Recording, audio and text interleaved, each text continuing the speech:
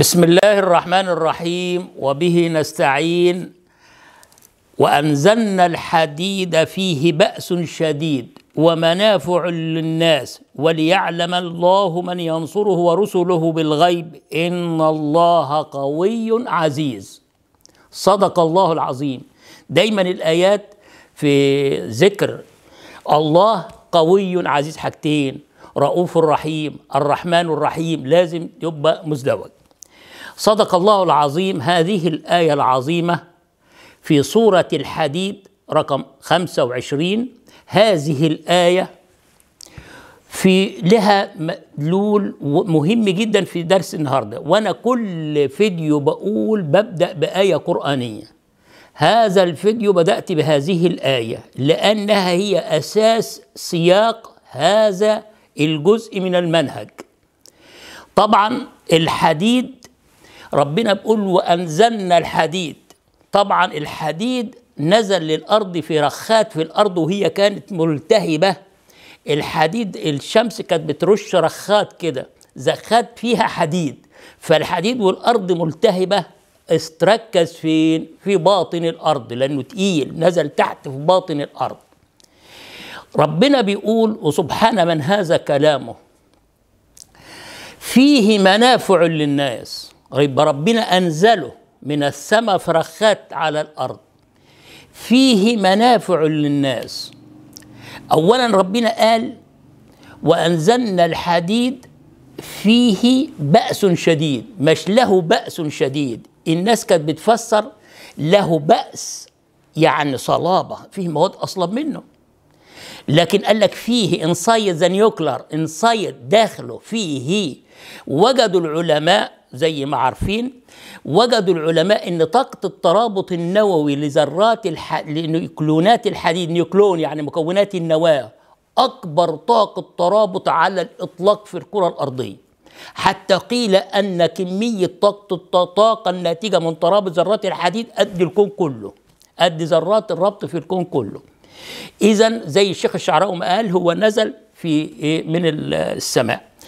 فاذا أما كلمة منافع للناس كانوا زمان يقول لك منافع إيه؟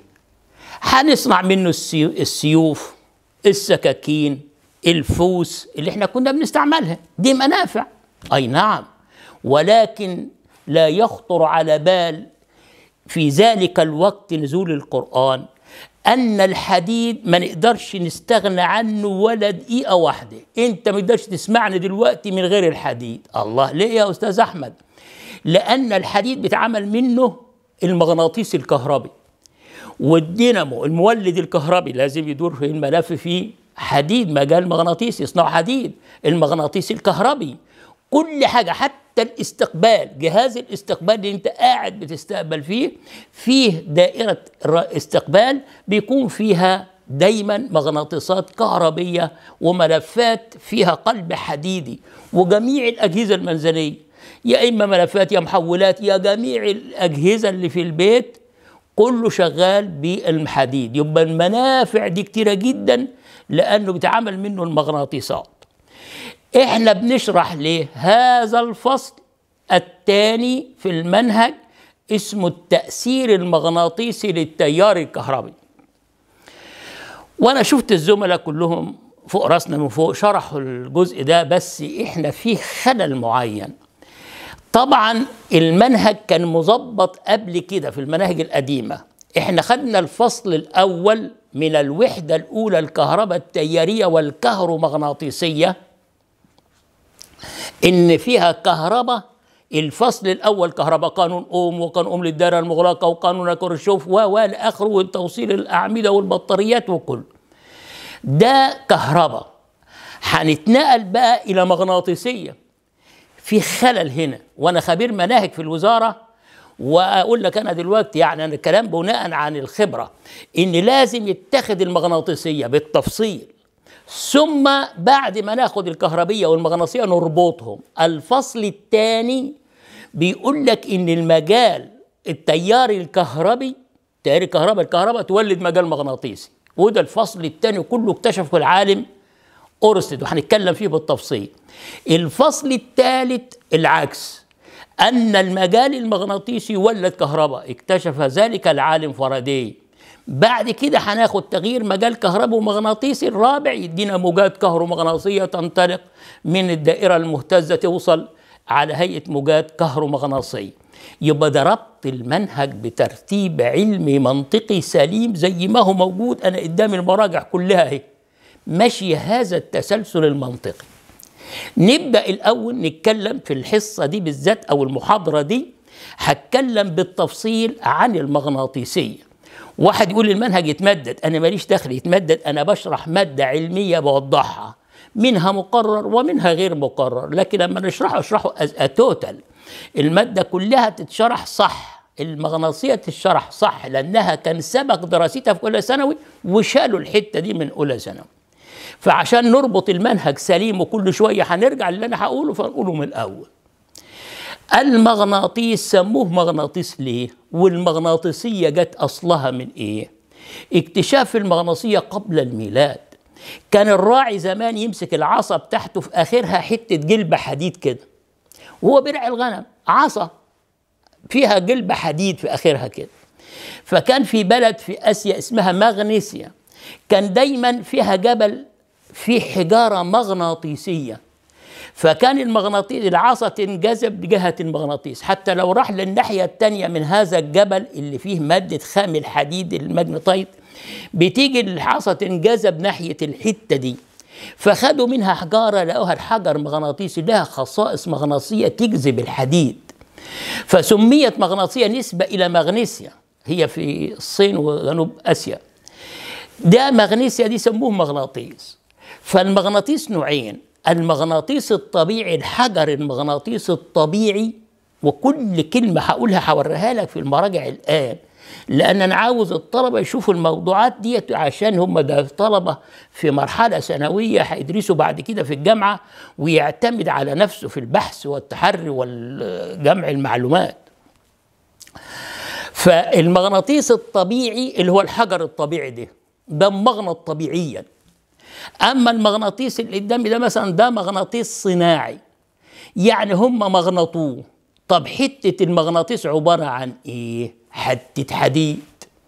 الحديد ديت فيها جزيئات جزيء ذرات الحديد بيمشي فيها إلكترونات فردي فبيعمل وهو دوران يعمل مجال مغناطيسي. المجال المغناطيسي يبقى له قطب شمالي وجنوبي. بس حتة الحديد الجزيئات اللي فيها غير مرتبة. عشوائية التوزيع فعشوائية القطب الشمالي والجنوبي. لذلك ليس لها لا قطب شمالي ولا جنوب لكن لو رتبناها الشمالي كله في جهة واحدة والجنوبي في جهة واحدة تبقى ده مغناطيس. له قطب شمالي وجنوبي. شمالي هنقول لك ليه سموه شمالي؟ لأن الأرض لها مجال مغناطيسي هتكلم فيه برضه. فالمغناطيس لما يتحط في مجال الأرض قطبه الشمالي يشير نحو الشمال. نحو إيه؟ الشمال بتاع الأرض. فسموه باحث عن الشمال نورث إن. والتاني بيتجه جهة الجنوب south S. south S. طيب إذا المغناطيس لو أنا جبت قطعة حديد ومغنطتها طب تمغنطها إزاي يا أستاذ؟ بالدلك. فيه تمغنط بالدلك زي فيه كهرباء بالدلك. وفيه كهرباء بالتلامس وفيه مغناطة بالتلامس. إزاي؟ لو جبت حتة الحديد دي اللي الجزيئات غير مرتبة وجبت مغناطيس ده أحمر قطب شمالي وحركته كده ونيجي من فوق كده كده هنفضل كل مرة ندلكه كده تترتب الجزيئات ده قطب مثلا شمالي يبقى ده الشمالي لأن بيجذب الجزيئات الجنوبية هنا. أهو يصبح ده بعد فترة مغناطيس. في الأول يبقى مغناطيس نص نص ضعيف وبعد كده يبقى مغناطيس إيه؟ قوي. ده اسمه المغناطيس الصناعي طب المغناطيس ده نصنعه من أنهي حديد؟ صلب ولا مطاوع؟ المغناطيس الدائم يصنع من الحديد الصلب لأنه بيحتفظ بالمغناطة مدة طويلة. أما المغناطيس الكهربي اللي بنلف سق حديد ملف ونلف عليه آه سلك مش فيه تيار ده اسمه مغناطيس كهربي. يصنع من الحديد المطاوع لأن يكتسب المغناطة بسرعة ويفقدها بسرعة. هنوريكم ديت في التجارب العملية. وإزاي وفي الكتب المراجع إزاي في حاجة اسمها التمغنط بالدلك والكهرباء بالدلك. التمغنط باللمس يعني لو جبت ده مغناطيس لمس حتة حديد الحتة الحديد تصبح مغناطيس. تعالوا كده نشوف الحتة دي. تعالوا نشوفوا بقى الكلام اللي أنا بتكلم فيه الحجر المغناطيسي في مرجع Ordinary Level Physics هنا في المرجع ده أهو نشوف آه الحجر المغناطيسي أهو. المغناطيس الطبيعي حجر اهو كان مرسوم في كتاب المدرسة القديم وبيجذب برادة الحديد. شكله كده. وإحنا قلنا لما نعلق المغناطيس حر الحركة الأقطاب بتتحرك القطب الشمالي يشير نحو الشمال والجنوبي نحو الجنوب الجغرافي. وهنعرف ليه. طبعا معروف إن الأقطاب المغناطيسية المتشابهة تتنافر والمختلفة تتجاذب. وإحنا عارفين إن التمغنط بحاجتين يا دلك أنا بدلك ادي قطب إس القضيب مغناطيسي لما هم بالأول جابوا حجر من مغنيسيا ودلكوا به الحديد هيتولد هنا قطب S وهنا قطب N بس لذلك ده S وبيمشي كده ونبتم بعيد كده مش رايح جاي. ده التكهرب بالدلك زيها التمغنط بالدلك. في التمغنط باللمس. آدي مغناطيس يلمس مسمار المسمار يبقى مغناطيس باللمس يلمس مسمار التاني يبقى كأنه مغناطيس وهو كده قطب N يجذب S و S يجذب N وانت ماشي زي ما انت شايف كده. ديت انت مغنط بالتلامس وهنعملها لك نوريها لك إزاي. آخر يوضح لنا حاجة تانية برضو علشان المغناطيسية نفهمها كما يجب. أدي المرجع قدامك.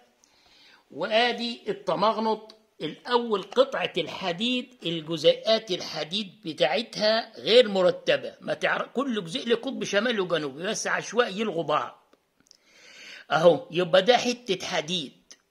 Iron اهو مكتوب. ما ملهاش قطب. لما بدأ يدلكها ابتدى شوية الأقطاب تتجه شوية هنا. بقى بس ضعيف شوية. شوف N صغيرة وال S صغيرة.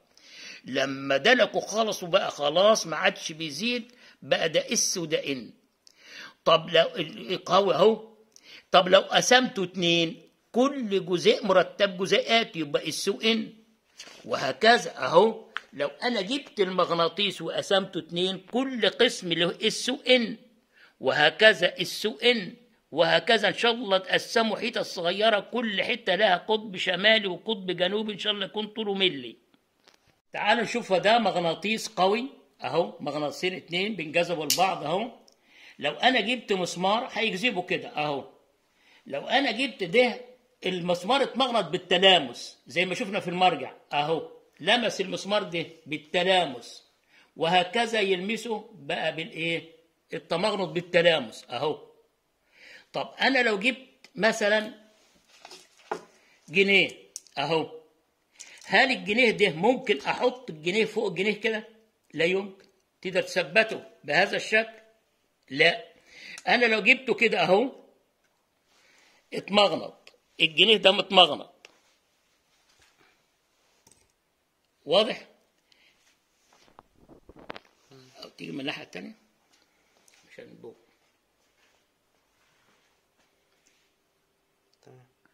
كده الجنيه أهو حطيته على المغناطيس واقف أهو. متمغنط. التلامس لو حطيت الجنيه فوق كده هيقف ثابت. طب لو حطيت جنيه كمان فوقه اهو بقى ثابت. لأن التمغنط بالتلامس شفنا المسمار وشفنا الجنيه. وهكذا ممكن نعمل بها أي شكل تاني. وهكذا. ده التجاذب والتنافر. ده مغناطيس قوي جدا. أهو. لو أنا جبت ده قطب جنوب وشمال يجذبوا بعض. طب لو أنا عكست واحد فيهم كده أهو شوف هنحطه كده مش هينزل. أهو شوف أنا شايله أهو مش قادر ينزل لأن في تنافر كبير جدا للمغناطيس ده. أهو هنا. ده المغناطيس قوة التنافر كبيرة جدا شايلاه يعني ما تقدرش تضغط عليه ينزل. أهو بضغط عليه بالعافية يجي لحد هنا ما يقدرش قوي طبعا هندخل بقى دلوقتي في إيه؟ المجال المغناطيسي لمغناطيس. لو أنا جبت قضيب مغناطيسي كده أهو. ليه قطب إن هنا؟ قرب الطرف مش في الطرف وقطب إس أهو.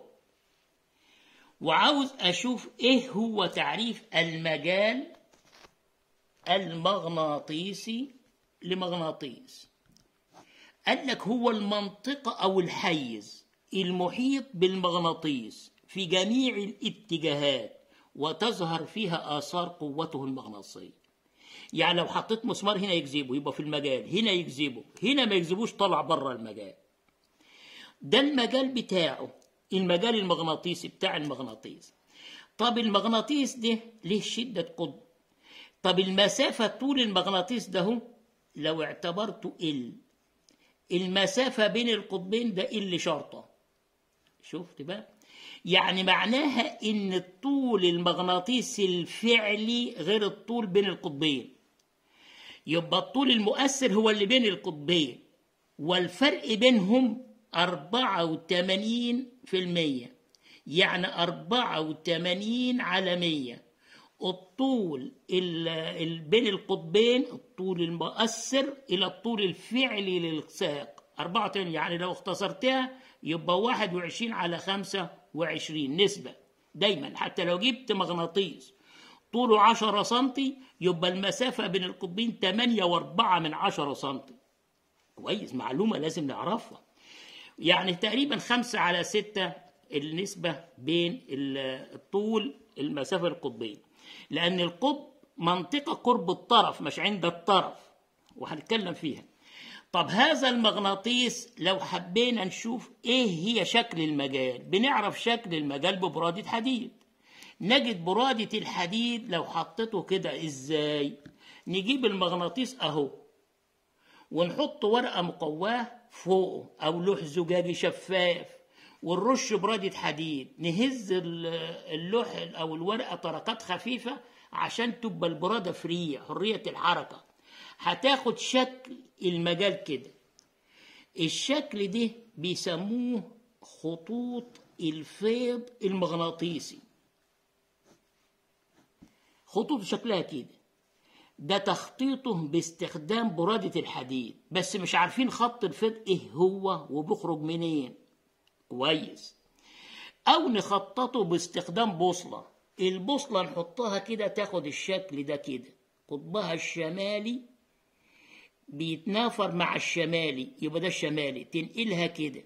يعني البوصلة لو حطيتها كده تاخد هذا الوضع. الشمالي اللي فوق ده بتاعها. وهكذا تاخد الشكل ده كده. وهكذا. تفضل تنقلها بتاخد الشكل كده اهو. وهي ماشية كده ترسم إيه؟ خط. ده البوصلة. هوريها لك بالمراجع يعني.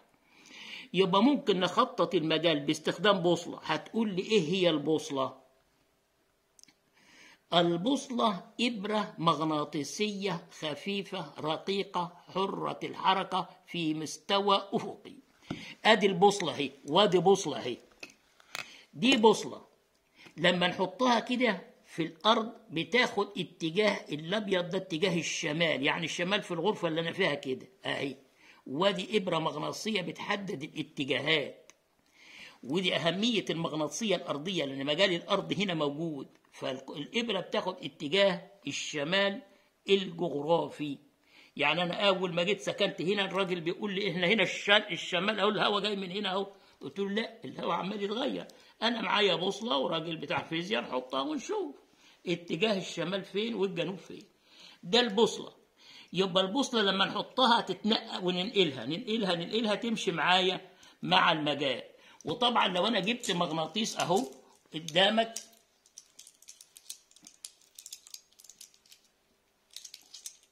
ده مغناطيس هيخلي الإبرة أهو. اللي بينجذب ليه القطب ده الجنوب انجذب هنا يبقى ده شمال أهو ويحركها كده تمشي معاها أهو تجري إبرة. وكذلك هنا الإبرة تمشي مع الإيه؟ المغناطيس يخليها تنجذب في اتجاهه. ده بالنسبة ندور الإبرة كده. طيب إحنا عرفنا البوصلة لأن هنتكلم فيها دلوقتي. طيب ده تخطيط المجال. ده اسمه إيه؟ خط الفيض المغناطيسي. نتكلم عن خط الفيض. ما هو خط الفيض؟ هو خط بشوفه مش ممكن. أدي مغناطيس قدامك وريني خط الفيض فين. أهو مغناطيس أهو. فين خط الفيض؟ أنا مش شايفه. هو خط وهمي يفرض لتحديد مسار قطب شمالي مفرد. حر الحركة في المجال. يا أستاذ أحمد هو في قطب شمالي مفرد لا. بس فرضنا زي إحنا لما نجيب المجال الكهربي أدي شحنة موجبة لو حطيت وحدة الشحنات الموجبة هنا بتمشي كده يبقى خطوط الفيض الكهربي بتخرج كده. ده اسمه خط فيض كهربي. الخط الفيض الكهربي بيخرج من الموجب ويدخل في السالب. الموجب عندنا زي الان في الشمالي كده. والسالب زي السورس الجنوبي. فهم فرضوا العلماء كده إن خط الفيض خط وهمي يفرض لتحديد مسار قطب شمالي مفرد وممكن نخطط المجال المغناطيسي بقطب شمالي مفرد. إزاي يا أستاذ تجيب قطب شمالي مفرد؟ هوريك دلوقتي وخططوا المجال لقوه بيمشي كده من الشمالي يمشي كده كده هوب يروح داخل في الجنوب. طبعا الخط ده ماشي كده. طب ده تخطيط المجال. خط الفيض له بداية ونهاية؟ لا.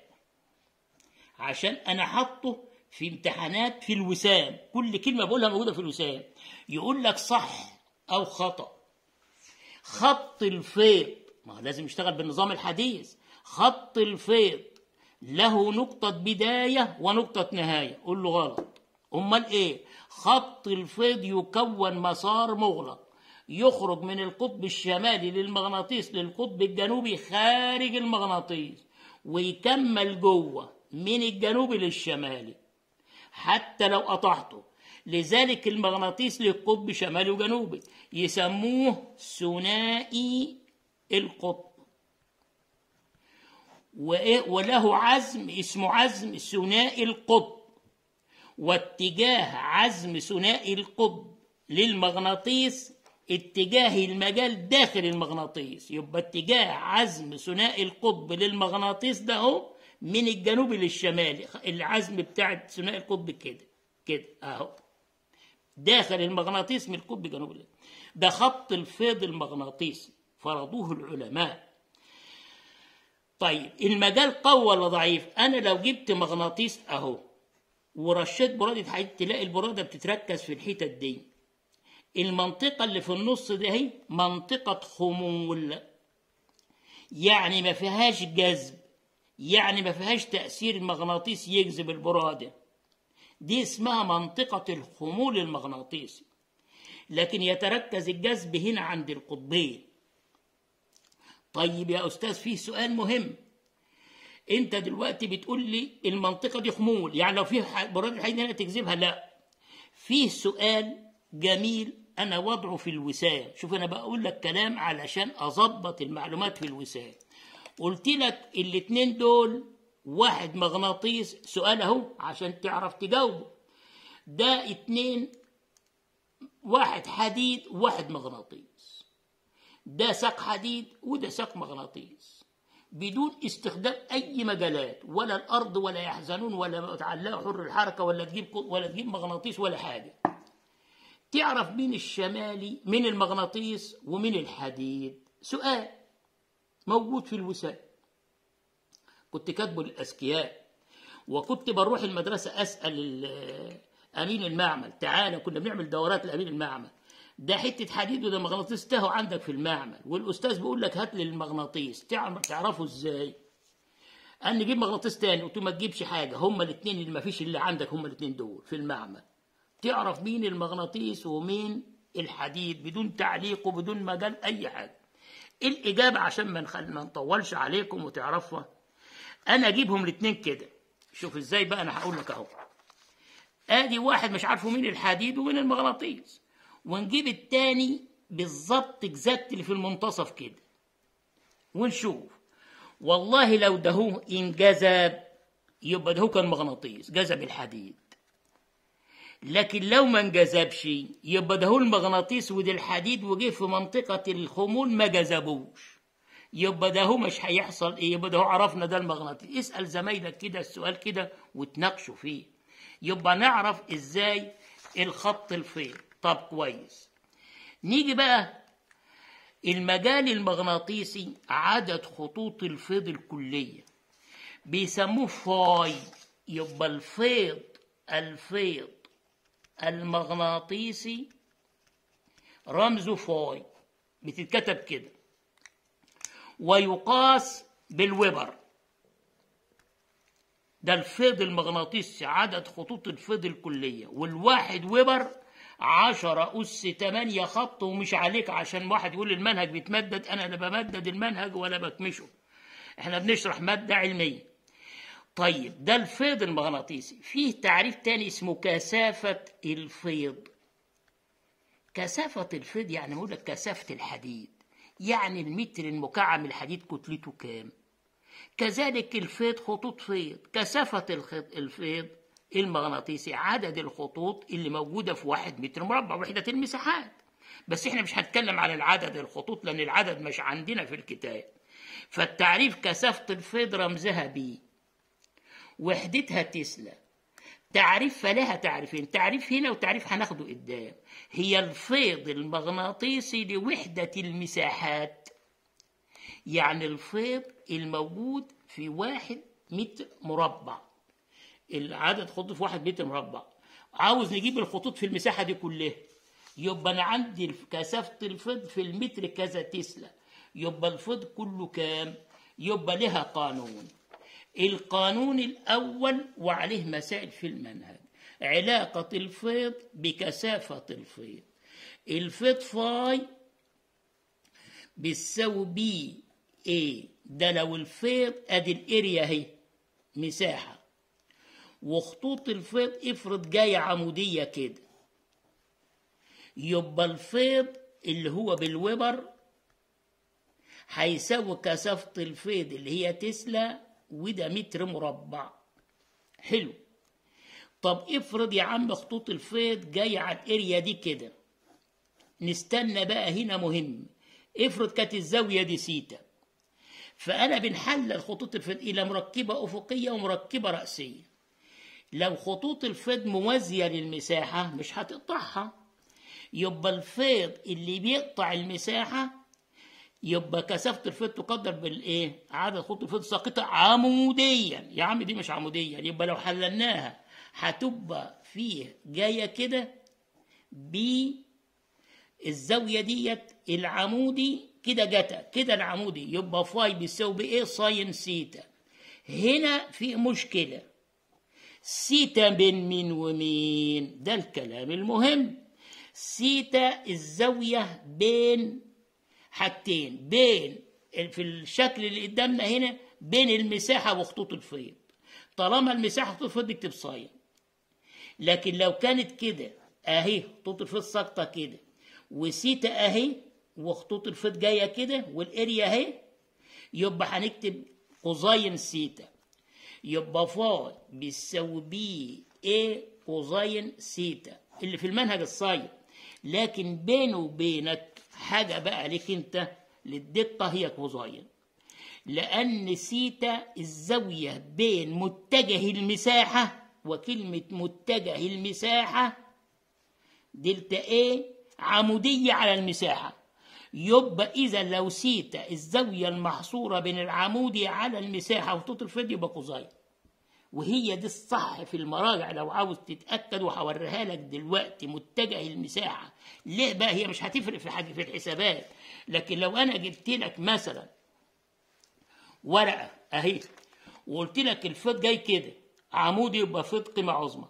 لو دارت بنضرب في sine الزاوية بين خطوط الفيض والمساحة أو متجه المساحة. فلو دارت كده يبقى اتقلبت. يبقى الفيض جاي كأنه جاي من العكس. يبقى الإشارة سلبة عشان الإشارة السلبة تكتب قوسين يبقى لو دارت 180 وهي كانت بزاوية يبقى 180 قوسين 180 بتبقى إيه؟ آه سالب. يعني عشان تبقى عارف الدقة سالب واحد.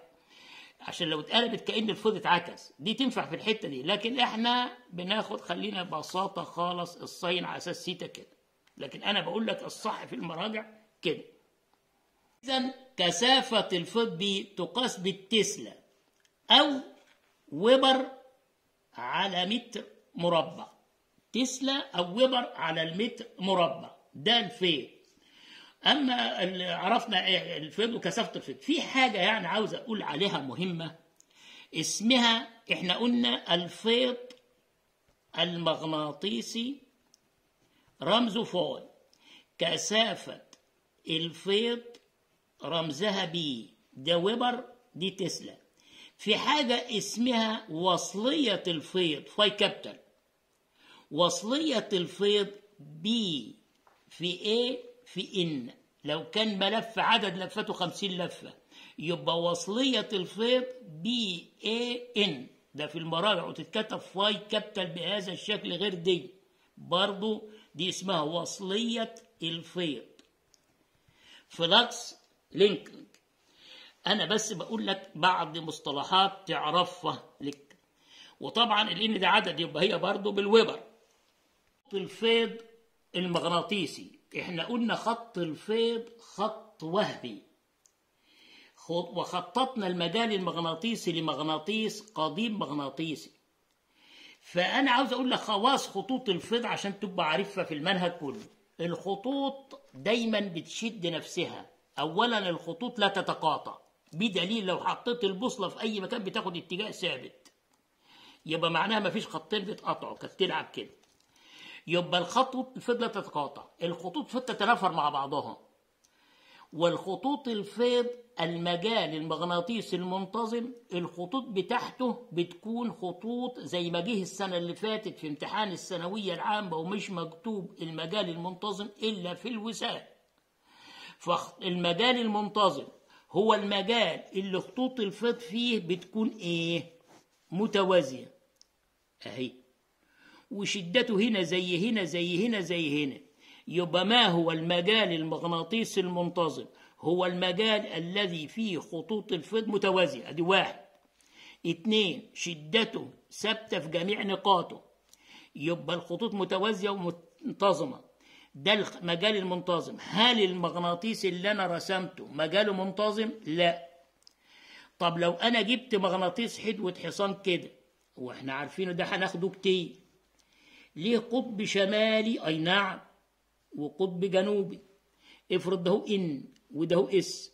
خطوط الفيض خط واحد من القطب الشمالي للجنوبي. والخط الباقي الخطوط بتبقى متقوسة كده. كده.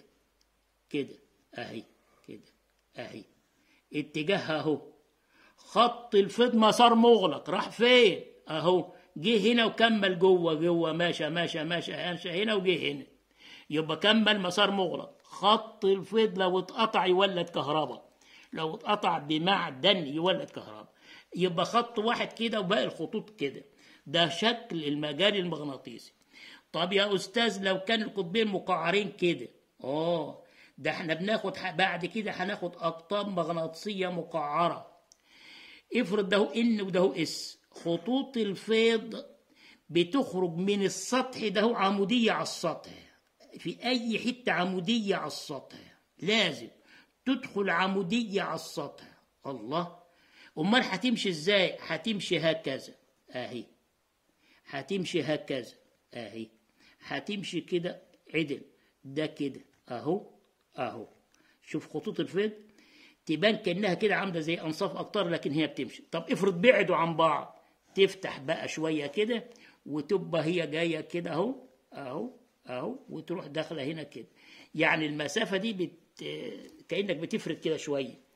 ده بالنسبة لخطوط الفيض بين قطبي مغناطيس. طبعا لو في حديد الحديد بيركز خطوط الفيض يعني خطوط الفيض لو ماشية كده لقت حتة حديد أهي كلها تيجي على الحديد كده وتدخل منه.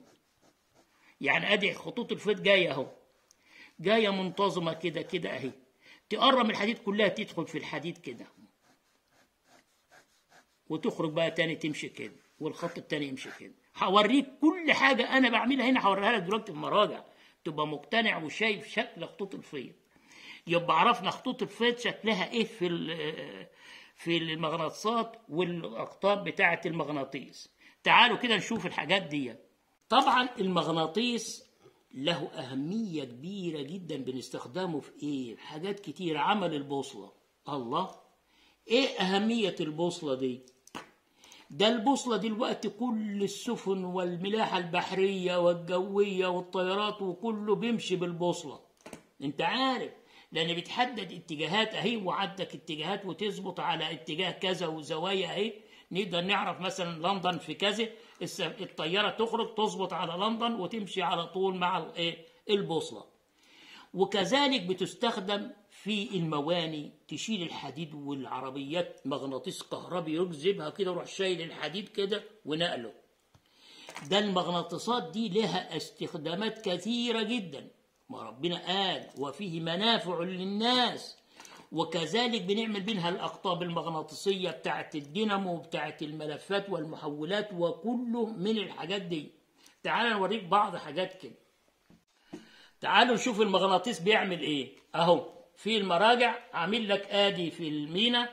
آدي المغناطيس ده مغناطيس كهربي يوصله يروح شايل الحديد جذبه وماشي كده ونقله في مكان تاني. ويفصل الكهرباء يروح فاصل المغناطيس يقع الحديد. عاوز أوريك حتة مهمة هنا في المرجع ده بوريك إن خطوط الفيض المغناطيسي اللي خارجة من المغناطيس وهي ماشية كده من القطب إن لقت هنا حديد أهو مكتوب حديد. فتروح داخلة كلها متجمعة هنا أهو. بدل ما تخرج عشوائي كده لقت الحديد اتجمعت فيه. طب الجنيه زي الجنيه كده الخطوط الفيض مشت في الرينج ده الحلقة ديت في المغناطيس ده. يعني خطوط فيض تمشي في الحديد بهذا الشكل. يبقى الحديد يجذب الخطوط الفيض يخليها تركز خطوط الفيض لأن هناخد بعد كده بيركز خطوط الفيض ده المغناطيس. طبعا ده بوريك دلك المغناطيس بقطب S يولد هنا S وهنا N. يعني لو شفت يعني. هنوريك حاجة تانية دلوقتي. من أهمية المغناطيسات يا جماعة برضو في الكتب المراجع المختلفة. هنا في هنا آدي برضو بيشيل العربيات والحاجات الحديد بالونش الكهربي ويستخدم في عمل الجرس الكهربي. آدي مغناطيس أهو وسماعة التليفون. آدي فيها مغناطيس بيجذب الرق ده ينهز يدي صوت هنا وهكذا استخدامات الحديد. وفيه منافع للناس. الحديد اللي بنصنع منه المغناطيس. الراجل بيتكلم هنا في برضه مغناطيس أهوت يجذب هنا وادي الأذن هنا في مغناطيس سماعة التليفون وحاجات كتيرة جدا لا حصر لها في استخدامات المغناطيس. في الوسام. لو جبت بوصلة أنت عارف البوصلة بشكلها كده. القطب اللي فوق شمالي واللي تحت جنوبي. لو قطعتها أنا بقى قعدت أقطعها كده أقسام.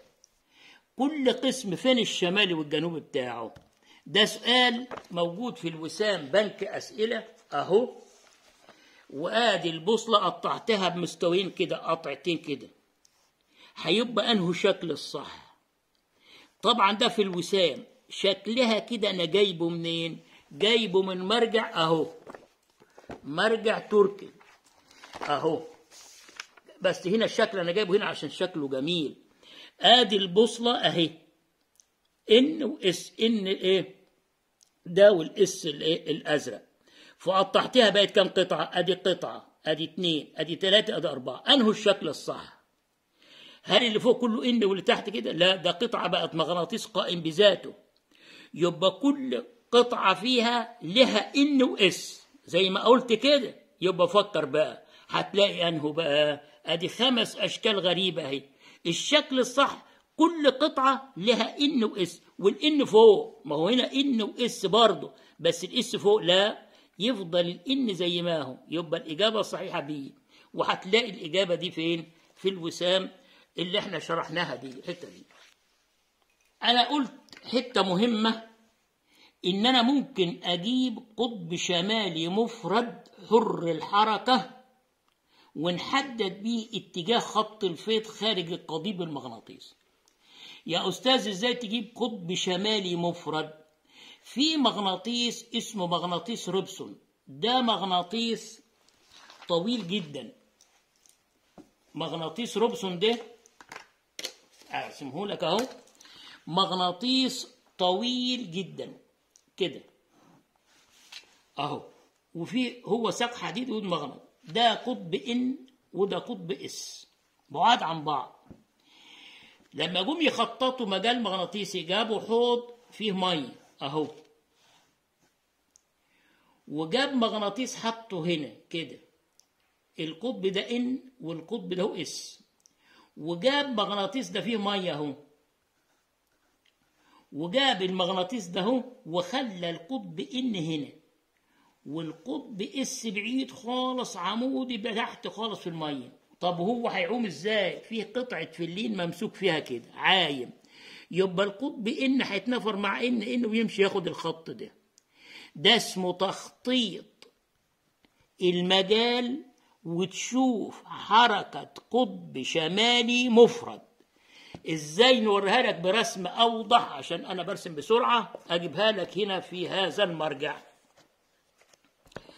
أهو. آدي المغناطيس إس وإن. حط ده قطب إن قريب من القطب إن ده والمغناطيس ده عايم ده قطعة فلين أهي. والرسمة دي بالشكل ده كانت موجودة في كتاب المدرسة أنا كنت بدرسها في أواخر السبعينات في مدرسة الإبراهيمية وموجودة في كتاب المدرسة زي ما هي من المرجع ده كده. فخط الفيض يمشي كده.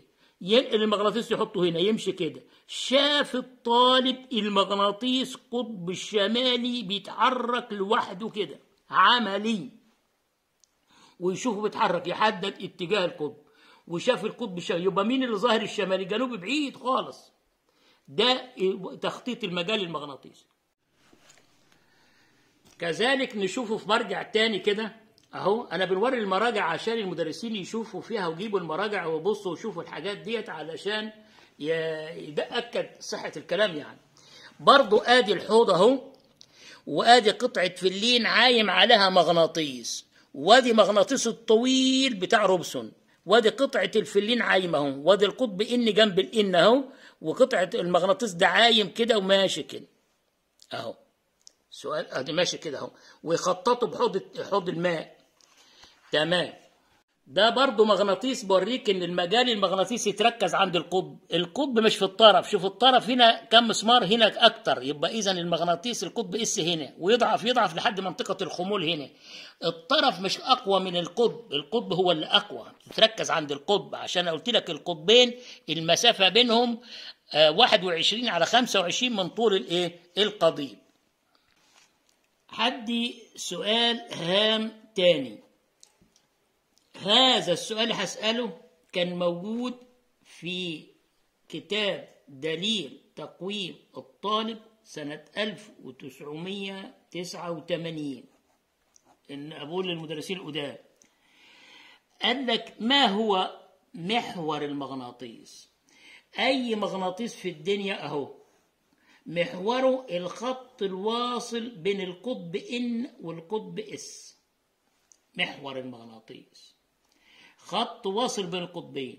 لما نحط المغناطيس في مجال الأرض المغناطيسي المحور يوازي عشان هناخد مسائل الإبرة المغناطيسية وتجربة أورستد المحور بتاع المغناطيس يوازي خطوط الفض بتاعة الأرض. قانون معروف. أي مغناطيس نعلاه حر الحركة النقطة بين ان واس ياخد اتجاه المجال الأرض. بين ان واس اسمه محور المغناطيس. أنا ممكن ألعب لك بقى أجيب لك مغناطيس حدوة حصان مغناطيس مش عارف إيه وأديك السؤال الهام اللي أنا بقول لك ده. أهو. أنا كاتبه هنا أهو. فيه قطعة فلين عايمة على المية ومغناطيس محطوط عليها قطبه الطويل ده N والقصير ده S. ده N وده S. ده هو N وده هو S. القدام عارفين الأسئلة دي ممكن تيجي في الامتحان. ده الطويل N وده هو S. حطيته في حوض مية. قطعه فلين عايمة. قطعة الفلين العايمة دي. لما نحط عليها المغناطيس تلف تلف لحد ما هو عايمة بقى. لحد ما ياخد اتجاه الإيه؟ محوره ياخد اتجاه المجال. آدي مجال الأرض نحو الشمال. أنهي شكل من دول ياخدوا المغناطيس. مجال الأرض أهو الشمال. هنا المجال محور المغناطيس كده. ما ياخدش مجال الأرض ده. محور المغناطيس كده. مش مع مجال الأرض. محور المغناطيس كده. مش مع مجال الأرض. المفروض نعكس دي بس يلا ماشي. الصح دي أهو. ال- الخط الواصل بين إن واس ياخد اتجاه مجال الإيه؟ الأرض المغناطيسي. يبقى القطب ان هو اللي فوق. أهو بيشير أهو مش عكست يشير. هنا إن وإس أهو هنا الاس يحيى كده غلط. أهو ده الصح. يبقى ياخد هذا الوضع. أدي أسئلة ثانويه عامة. أسئلة جديدة موجودة في المنصات العالمية. ممكن يجي سؤال منها يحطه. وإحنا كمدرسين قدام عندنا الفكرة دي. طب مجال المغناطيس عرفناه. النقطة المهمة جدا مجال الأرض المغناطيسي. الأرض. المجال المغناطيسي للأرض. الأرض كرة الأرضية الحديد استقر جوه بقى لها مجال مغناطيسي. إيش عرفك يا أستاذ؟ البوصلة. يبقى المغناطيسية الأرضية هي اللي أثرت على أي بوصلة خدت اتجاه الشمال. المغناطيس قريب منها فابعده عشان ما يأثرش عليها عشان تبقى عرفت اتجاه الشمال فين. يبقى المغناطيسية الأرضية الإبرة بتاخد اتجاه مجال الأرض. هي الأرض لها مجال مغناطيسي؟ أي نعم. ومجال المغناطيسي للأرض شكله إيه؟ أنا هوريه لك لك في المراجع بالتفصيل. الكرة الأرضية أهي. العلماء لما جابوا بوصلة وتنوا ماشيين وراها يشوفوا هتمشي إزاي. لقوا خطوط الفيض للأرض لها مجال مغناطيسي قوي. والمجال المغناطيسي للأرض يختلف من مكان لمكان واتجاهه يختلف من مكان لمكان. ولكن خط الفيض بيعتبر إزاي؟ اعتبروا العلماء كما لو كان داخل الأرض مغناطيس. قطبه الشمالي في الجنوب وقطبه الجنوبي في الشمال. حلو. خطوط الفيض بتخرج من الشمال تروح للجنوب. أهي أدي خط فيض أهو. وهكذا خطوط الفيض بتخرج من الشمال تروح للجنوب. أهي. آه. خط الفيض طالع كده منحني. بنحلله إلى مركبة رأسية ومركبة أفقية هنا رأسية صغيرة أفقية وهكذا يجي هنا يبقى أفقية بس. هنا أدي الأفقية وآدي الرأسية المركبة هتلاقي المسائل كلها يقول لك المركبة حتى موجود في كتاب المدرسة مسألة يقول لك قطع خطوط الفيض المركبة إيه؟ ده مسائل في كتاب المدرسة. المركبة الأفقية اتجاهها فين؟ نحو الشمال. ما هو ده شمال الأرض. وده الجنوب. المركبة الأفقية نحو الشمال والمركبة الرأسية لأعلى ولا الأسفل؟ هنا مربط الفرس. في نص الكرة الجنوبي بتبقى خطوط فيض خارجة من الأرض هي سطح الأرض أهو طالعة لفوق يبقى الأعلى. نص الكرة الشمالي اللي إحنا فيه في مصر داخل لتحت يبقى نازلة الأسفل. أما الأفقية دايما في اتجاه الشمال. يبقى الأرض لها مركبة أفقية ومركبة رأسية. طب البوصلة دي بتتحرك في مستوى أفقي ولا رأسي؟ بتتحرك في مستوى أفقي مش محطوطة كده. هذا المستوى الأفقي يحدد المركبة الأفقية. الرأسية عمودية علامة ما تأثرش فيها. ده نعرف بس اتجاه الاتجاهات أما فيه بوصلة تانية بتبقى البوصلة دي تحدد زاوية الميل تختلف من مكان لآخر. فبجيبوا بوصلة زي دي بس بتتحرك في مستوى أفقي زي القلم اللي أنا هعمله ده كده. أهو أدي قلم أهو والبوصلة معمولة كده. يبقى القلم بيتحرك في مستوى إيه؟ رأسي في اتجاه الزوال المغناطيسي. باخد الوضع ده نشوف زاوية الميل كام. كده أهو أهو زي إيدي كده القلم دي اسمها المركبة الرأسية بتحدد اتجاه زاوية الميل في المكان اللي هي فيه. الأرض المجال بتاعها جاي منين؟ آه العلماء احتاروا. المجال الأرض جوه الأرض في باطن الأرض حديد نسبة الحديد أكتر.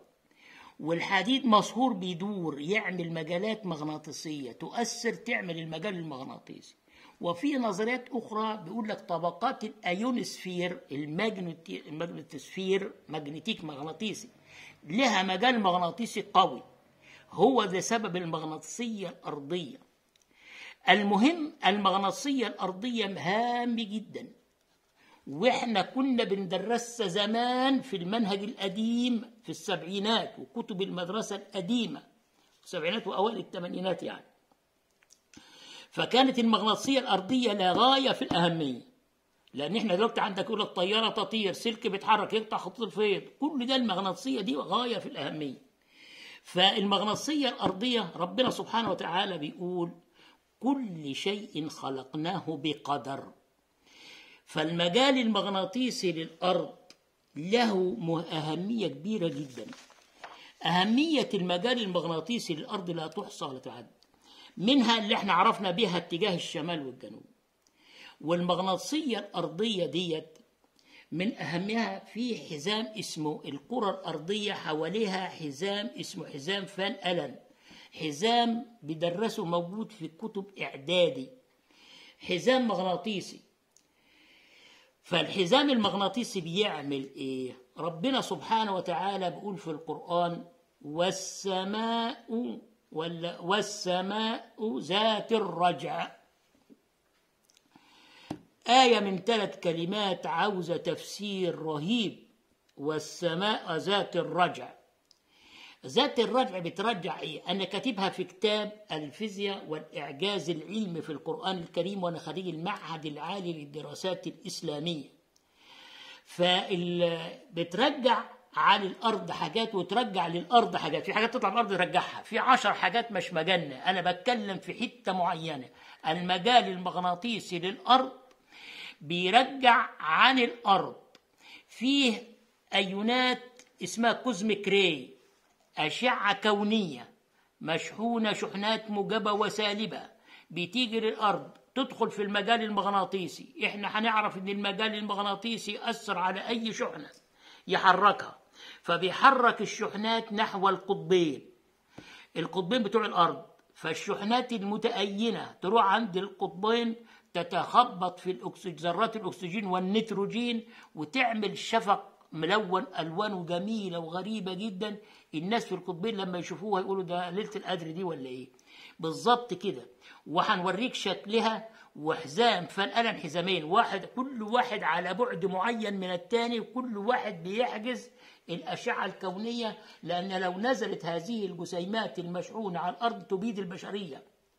شوف ربنا سبحانه وتعالى بيقول لك إيه؟ يعني ربنا بيقول لك يعني والأرض بعد ذلك دحاها أخرج منها ماءها ومرعاها. والأرض ربنا سبحانه وتعالى قال ولا تفسدوا في الأرض بعد إصلاحها. هو ربنا ظبطها. طبقات الأينوسفير وهكذا. فهذه الموجات الأشعة الكونية تدخل المجال المغناطيسي الأرض يحرفها. ده واحدة من ضمن المجال المغناطيسي للأرض تعالوا نشوفها كده. دي المجال بتاعها اهو لكن من ضمن حاجات المغناطيسية الأرضية المهمة جدا وعاوزك تعرفها هجرة الطيور. الطيور بتهاجر. لما جابوا الطيور الحمام الزاجل شوف هجرة الطيور. دي في المراجع الأجنبية.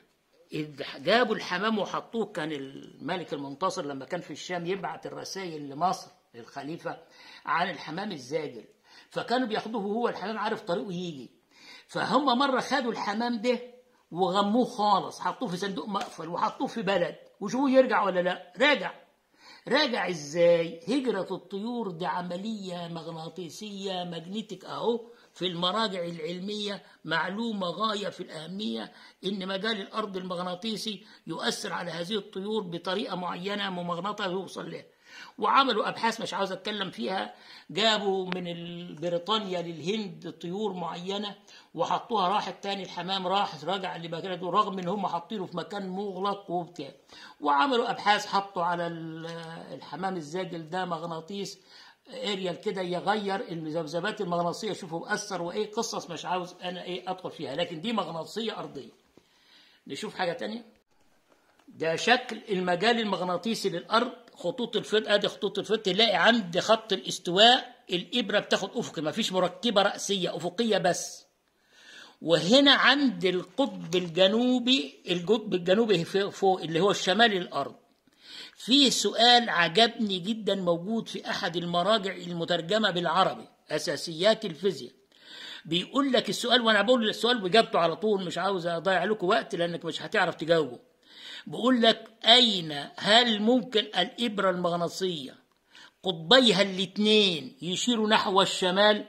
ممكن القطبين الاثنين يشيروا نحو الشمال؟ يا عم واحد نحو الشمال والتاني نحو الجنوب. آه ممكن. فين مكان أهو. الإبرة ده هي. قطبها الشمالي يشير نحو الشمال بتاع الأرض أهو. وقطبها الجنوبي بدور كده. بيبص لفين؟ للشمال خالص لشمال الأرض. يبقى هي الإبرة لو كانت هنا. وكذلك ده. شوف الإبرة دي قطبيها يشيروا للشمال. ده بيشير للشمال بتاع الأرض. طب وال S بيشير لمين؟ ما هو ده الشمال أهو يشير نحو الشمال. ده سؤال فني جدا. والأسئلة اللي بقولها دي أنا بقول لك مش هعلقك وأقول لك أجاوبها المرة الجاية. بجيب لك على طول الإجابة. سبحان من هذا كلامه. هذا المرجع بيوريك ودي مراجع أجنبية اللي عارفينها لا يعرفوا الرسول صلى الله عليه وسلم ولا يعرفوا القرآن. وهو كلام منزل من عند العليم ربنا سبحانه وتعالى كتاب أحكمت آياته. شوف العجب. ادي الكرة الأرضية والمجال المغناطيسي لها. الجسيمات المشحونة اللي جاية على الأرض حدتها بتتنافر مع المجال المغناطيسي وترجع. والسماء ذات الرجعة أهو رجعت الحاجات اللي خطر على الأرض. إلا إذا كان جاي على القطب على طول ما فيش حد ساكن هناك. شوف العجب شوف الحاجات الجميلة شوف ربنا سبحانه وتعالى ما فرطنا في الكتاب من شيء. سيروي كاتب إيه في هذا الموضوع؟ سيروي كتب إن آدي الكرة الأرضية في آدي مجال مغناطيسي للأرض حزام فان الن بيخلي المجال المغناطيسي للشحنات توصل ناحية القطبين. شوف الشكل الجميل عامل لك آدي الشفق ملون بألوان غريبة جدا لأن نتيجة لوصولها هنا. شكلها الجميل ده وضحها كده. وادي مجال الأرض المغناطيسي. مرجع تاني جميل جدا أهو. جاب لك إيه؟ آدي حزامي فان الن اللي موجودين في كتاب تالتة إعدادي حتى والناس مش عارفة تفسيرهم. آدي المجال المغناطيسي خلى الجسيمات راحت عند القطبين. عملت لما خبطت بذرات النيتروجين والأكسجين عملت المنظر الجميل اللي انت شايفه ده الشفق الملون ده. ده نتيجة لكوزميك راي انحرفت بواسطة المجال المغناطيسي للأرض. والمجال المغناطيسي للأرض لو هتكلم فيه هتكلم فيه فيديو كامل وساعات كتيرة على مغناطيسية الأرضية ومجالها وميزتها. وكاتبها في كتاب الفيزياء والإعجاز العلمي في القرآن الكريم وهو كتاب ببلاش يعني اللي عايزه بياخده منه هدية بدون أي شيء لأن كاتب فيه الحاجات المغناطيسية كلها. طبعا مجال مجال الأرض المغناطيسي سببه إيه اللي أنا قلته؟ أوريه لك يعني الحتة اللي أنا قلتها إن آدي خدوا مقطع في الأرض. طبعا الأرض لها مجال مغناطيسي زي ما شفنا وشرحنا. والوضع البوصلة لكن شافوا مركز الأرض فيه تيارات الحديد اللي هو عامل مجال مغناطيسي بيلف كده يعمل إيه؟ مجال مغناطيسي ياثر على الكرة الأرضية يعمل هو المجال المغناطيسي. القلب بتاع الأرض الحديد وهو بيتحرك هو ده ذراته ماشية فبتعمل المجال المغناطيسي للأرض. زي ما قلت كل كلمة بقولها أنا بوثقها من المراجع اللي أنا بحثتها أكثر من 20 مرجع بجمعهم النهارده عشان أشرح المغناطيسيه الأرضية. باقي حتة أخيرة عاوز أقولها. المغناطيس لما نحطه في مجال الأرض أهو له مجال ولا لا؟ له مجال والأرض لها مجال. إذا لو أنا حطيت مغناطيس في مجال الأرض يبقى ليه مجال والأرض لها مجال. أكيد هتوجد نقطة تعادل. يعني إيه تعادل؟ نقطة التعادل زي ما هنقولها بعد كده وعليها مسائل كتيرة حتى مش واضحة في كتاب المدرسة هي النقطة التي ينعدم عندها المجال المغناطيسي وعندها البوصلة لا تأخذ أي اتجاه محدد لأن ما فيهاش مجال مغناطيسي. هل المغناطيس لوحده كده يبقى له نقطة تعادل؟ نعم. ده لو موجود في الأرض؟ آه. طب لو جبت مغناطيس ومغناطيس تاني. يبقى لهم نقطة تعادل؟ آه. شكلهم إزاي؟ طب لو مغناطيس كده ومغناطيس كده لهم نقطة تعادل؟ آه. كل ده ليه نقط تعادل؟ عاوزين نشوف تخطيط المجال المغناطيسي لمغناطيس في مجال الأرض ودي كانت مقررة في السبعينات في مناهج مصر. هوريها لك بين كتاب المدرسة القديم أهو منقولة من هنا بالظبط. أنا هوريك نقط التعادل لمغناطيس عشان عليها أسئلة ومسائل. الجهاز اللي أنت شايفه ده هو اسمه جهاز الميل. اللي بيقرأ زاوية الميل إن الإبرة المغناطيسية بتتحرك في مستوى رأسي مش زي البوصلة. دي بوصلة بس بتتحرك رأسي. اللي أنا عملتها لك كده أهي. وأدي إيه؟ angle of drop of dip اللي هي زاوية الميل. وتحليل الأرض عشان نعرف المركبة الأفقية للأرض بنضرب في sine و cosine هنا يا سيدي أدي مغناطيس. قطبه مجال الأرض طبعا نحو الشمال. magnetic north أهو. المغناطيس لو حطيت المغناطيس في الكرة الأرضية اللي خطط المجال بتاعه نقطة تعادل بينه وبين الأرض توجد فين؟ حسب شدته طبعا. أدي قطب S و N لو ال S كده وال N هنا خطوط تخرج من هنا ماشية زي مع الأرض أهي. يبقى هي خارجة من هنا هتلاقي الخطوط جاية. يبقى نقطة تعادل هنا ونقطة تعادل هنا. لازم اتنين نقطتين تعادل. واحدة هنا وواحدة. لو كان اس فوق وان تحت. شايف إزاي؟ شكل مهم جدا تعرفه. هنا بقى لو المغناطيس الإن فوق والإس تحت وخطوط الفيل بتاعت الأرض أهي نورث هتلاقي نقط التعادل هنا لأن خطوط جاية كده والأرض جاية كده هتقابلها. هتبعد في حتة حسب شدة المغناطيس. لو المغناطيس قوي يبقى تأثيره هنا يبقى نقطة تعادل بعيدة هنا أهي وهنا. دي المغناطيس المغناطيس هنا وهنا. طب ده لو مغناطيسين كده طب لو أنا جبت اتنين مغناطيس بقى هنوريك الاتنين مغناطيس يبقى لهم في منهج سنغافورة موضحها كويس. سنغافورة البلد رئيس الجمهورية جاب لنا رئيس أول مرة يجي في مصر جه يقابل الرئيس السيسي. وهو كان عاوزه يورينا المناهج بتاعتهم يعني الرئيس كان حريص جدا. أول رئيس يفكر إن إن سنغافورة متقدمة علميا. وجاب عشان نشوف الفيزياء فيها متقدمة إزاي. ده مغناطيس آدي تخطيط المجال بالبوصلة. تعالى بقى لو كان مغناطيسين إس وإن قريبين من بعض يبقى شكل المجال لهم إزاي؟ خطوط الفيض بتخرج من إن تروح لإس. بعضها يمشي كده وبعضها يمشي هنا حسب القرب الإن والإس وشدة المغناطيس.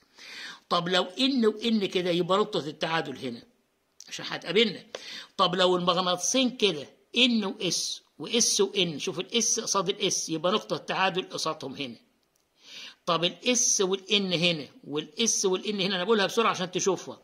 هتكون نقطة تعادل هنا في النص هنا. شايف؟ دي تخطيط المجال المغناطيسي لمغناطيسات مختلفة الشكل أهي ونعرفها إزاي نخطط المجال المغناطيسي ونعرف إزاي نقاط التعادل. ودي طريقة الدلك إن هنا يبقى ده إن يصفر الإس هنا يبدأ من أوله كده وممكن ندلكه باثنين كده. وممكن نمغنط المغناطيس غير الدلك في طريقة تانية. نجيب قطعة الحديد نحطها جوه جوه ملف ونديله تيار مستمر مش متردد. يدينا هنا مجال وتسخن تبص تلاقيه بأثر عليها بعد فترة تتمغنط. هو تتمغنط مغناطيس مؤقت لكن ممكن مغناطها مغناطيس دائم بطرق مختلفة. هنديك سؤال غير تقليدي. نشوفك تجاوبه إزاي. ده مغناطيس زي ما قلنا كده محطوط في مجال الأرض. والأرض مجالها أهو اتجاهه نحو الشمال. بي أرض. وبي أرض 3 إم تي 3 ملي تسلا. في نقطة هنا كانت كثافة الفيض الكل عندها 2 تسلا 2 إم تسلا. لما دورت المغناطيس 100 ما قالش كان فين الشمال وفين الجنوب. لما دور المغناطيس 180 درجة أصبحت 8 إم تسلا. يبقى مجال المغناطيس هنا كام؟